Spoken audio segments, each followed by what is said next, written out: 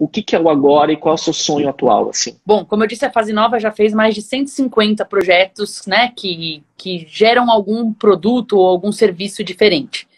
E uma coisa que a Fase Nova ainda não fez é criar uma empresa, a própria Fase Nova criando uma empresa para vender.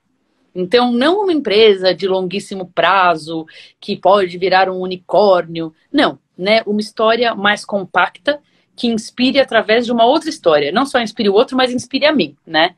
Então agora a gente está fazendo algo muito legal, com uma novidade que, que né, nos últimos, bem, bem resumido, mas eu vivi 30 anos do fazer, fazer, fazer, fazer, mais produtiva todo dia, autoconhecimento da produtividade e tal. E dois anos do que eu chamo de os anos do ser, né? Que não é só fazer mais, fazer melhor, é ser mais empático, é ser mais. É, é, olhar para si, olhar para dentro. Olhar para né? si. Então, mais presente, mais compaixão, é, mais empatia. E teve um, um, momento, ano passado, de embate dessas Vai virar, vai virar né? coach, hein? Tô zoando. Um momento, é, é, história real. Teve um momento de embate da Bel, assim, porque é, eu não conseguia. Eu falava, não vou produtizar, porque se eu produtizar é a vida do fazer e eu quero integrar com o ser.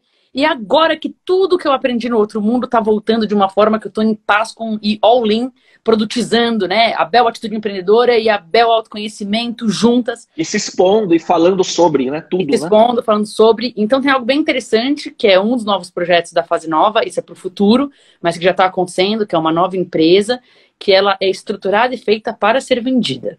É, que é uma coisa que eu tenho que limpar minhas próprias crenças, né? Porque cá entre nós aqui, eu vi muita coisa no Vale que eu não gostei, e eu criei um receio de vender a empresa, inclusive, né? É, eu sempre quis uma empresa a longo prazo, que a Fase Nova acho que vai ser uma empresa de vida toda, mas isso não impede que tenha algumas outras histórias desenhadas de forma diferente, que inclusive vai motivar muita gente que está num dilema. Gente super empreendedora, incrível, que está com receio de empreender, achando que vai perder a essência. Então é muito legal, isso é um dos novos projetos.